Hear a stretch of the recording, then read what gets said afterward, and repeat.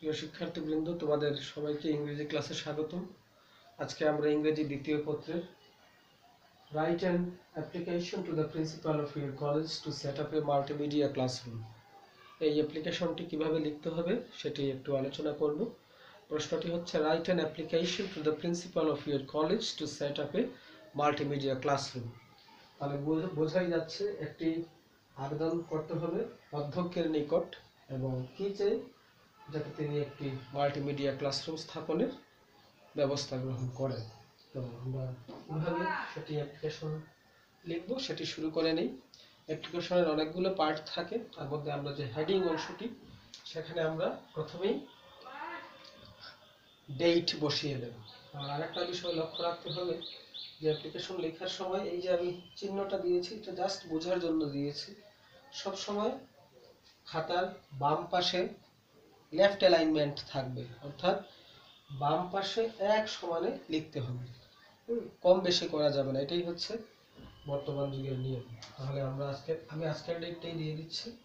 Twenty seven six two thousand twenty one সবার প্রথমে আমাদেরকে তারিখটা লিখতে হবে, তার একটু নিচে লিখতে হবে, যাকে সম্বোধন করছি। পদবি লিখতে হবে দ্য প্রিন্সিপাল তারপর কলেজের নামটা আমরা উল্লেখ করব না, গোপন রাখব এক্স কলেজ তারপর আমরা ঠিকানাটা বসিয়ে দিতে পারি।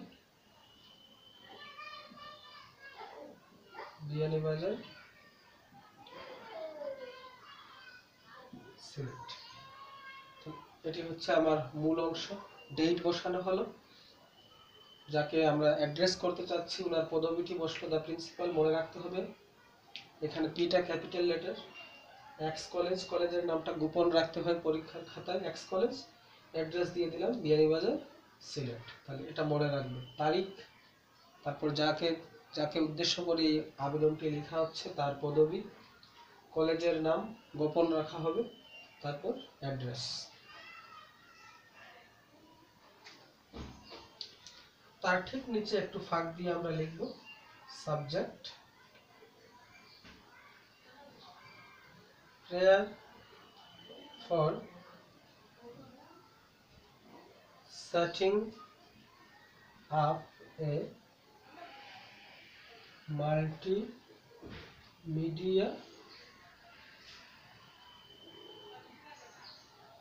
classroom এবার দেখো, একটু আগে বলেছিলাম অ্যালাইনমেন্টটা লেফট হবে, কিন্তু আমি অ্যালাইনমেন্ট এইদিকে এনে ফেলেছি। তাহলে এটা ভুল হলো। সব সময় এটা ঠিক এটার নিচেই আসবে। Multimedia classroom. The prayer for setting up a multimedia classroom.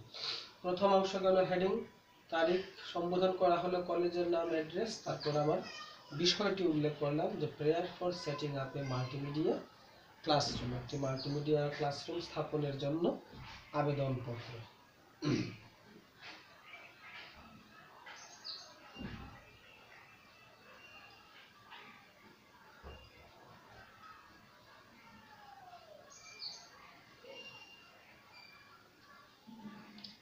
ওকে, তাহলে আমাদের প্রথম অংশটা হয়ে গেল, পরের অংশটা আমরা দেখব।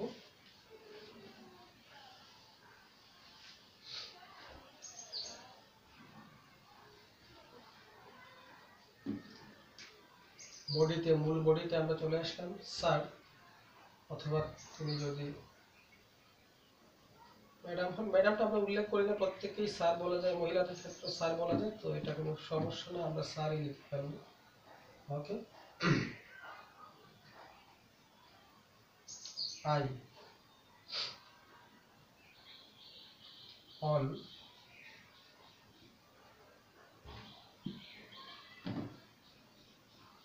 behalf of এই যে on behalf of তার কথার অর্থ হচ্ছে পক্ষে I on behalf of the students on here reputed reputed মানে হচ্ছে বিখ্যাত reputed college I, on behalf of the students of your reputed college, beg to bring to your kind notice. Find notice.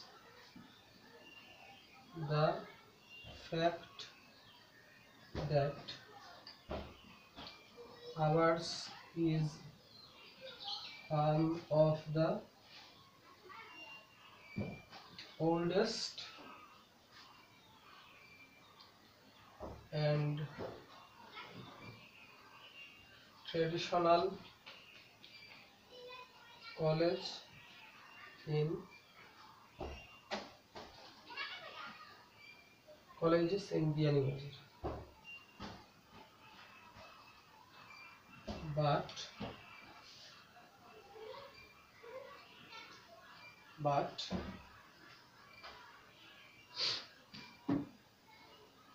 we have no multimedia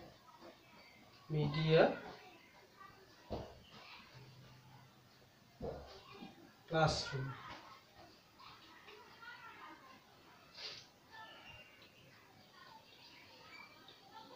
Okay.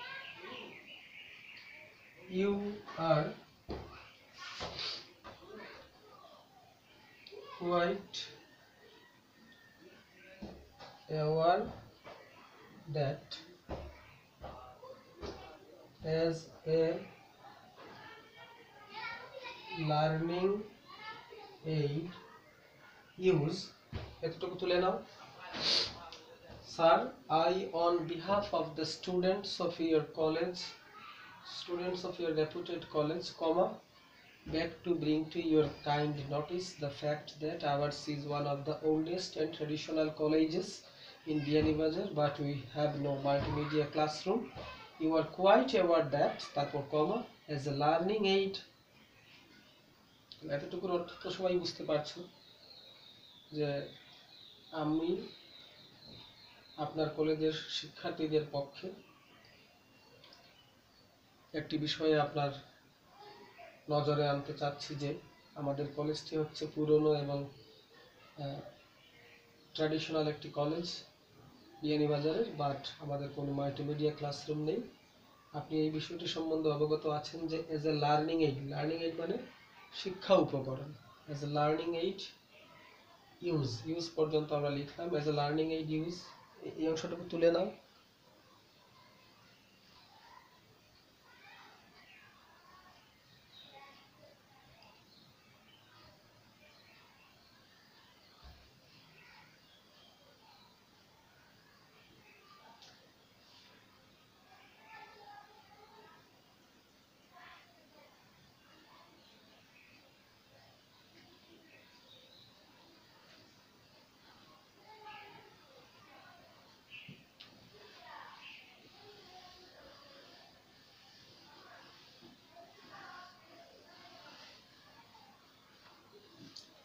Use of digital content is increasing day by day অর্থাৎ digital কন্টেন্টের ব্যবহারটা দিন দিন বেড়ে যাচ্ছে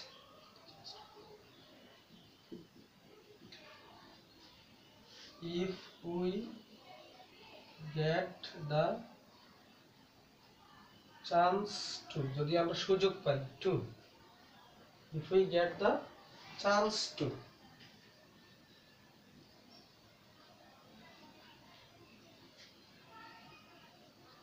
learn in multimedia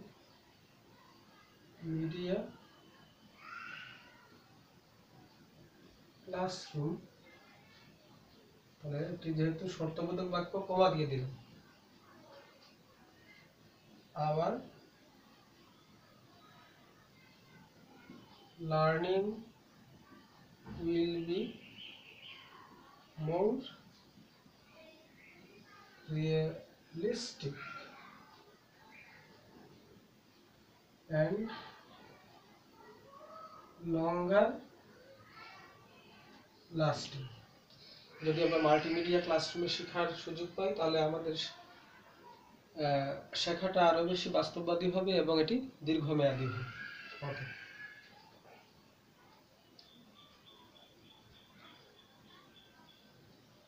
আমরা এবার শেষের অংশটাতে চলে যাব, একটু ফাঁক দিতে হবে, দিয়ে লিখব I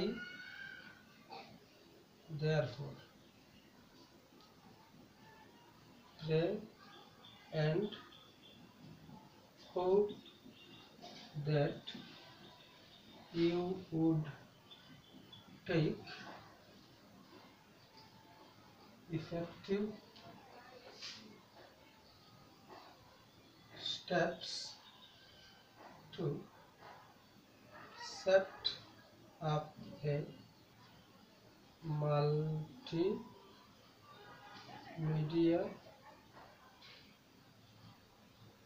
classroom multimedia classroom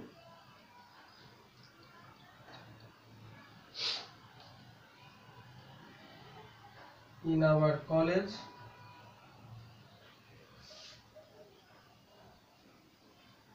and thus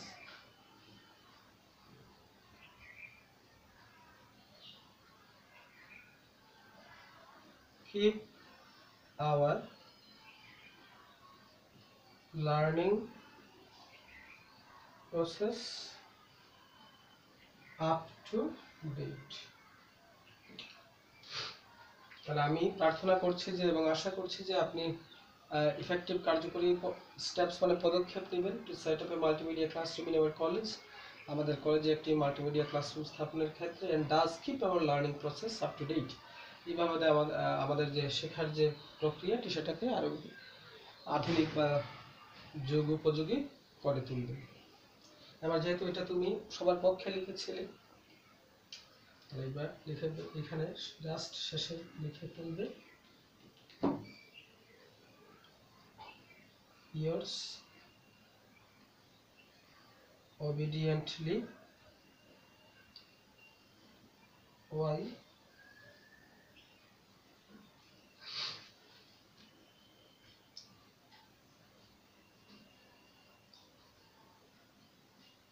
class roll Y এর পর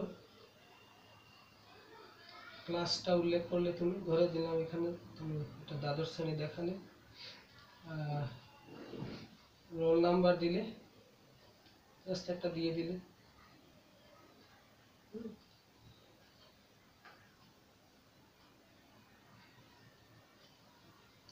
শেষে লিখবে on behalf of the students of X college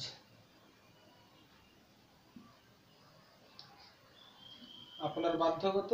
তুমি তোমার নামটি উল্লেখ করলে না জাস্ট ওয়াই ক্লাস দিয়ে দিলে দ্বাদশ, আর রোল নাম্বার একটা দিয়ে দিলে, এবং শেষে লিখলে on behalf of the students of X college অর্থাৎ এক্স কলেজের স্টুডেন্টদের পক্ষে তুমি এটি করেছ। ওটা মনে রাখবে ইয়র্স কিন্তু। ইয়র্স অবিডিয়েন্টলি ইয়র না ইয়র্স অবিডিয়েন্টলি এটা পজিটিভ তাহলে ইয়র্স অবিডিয়েন্টলি আপনার বাধ্যগত ওয়াই কলেজের নামটা আমরা এক্স দিয়েছিলাম, তাই এখানে আমরা দিয়ে দিলাম নিজের নামটা ওয়াই এখানে আবার এক্স দিও না, তাহলে কিন্তু ঝামেলা হয়ে যাবে, কারণ কলেজের নামও আমরা এক্স ধরেছি। ক্লাস হচ্ছে দ্বাদশ তারপর আমরা রোল নাম্বারটা দিয়ে দিলাম on behalf of the students of X college